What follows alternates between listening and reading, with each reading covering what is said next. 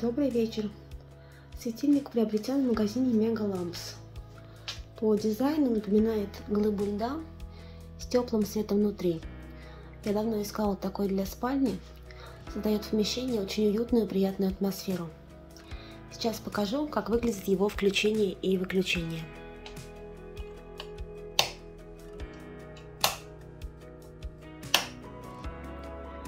Очень довольна своей покупкой.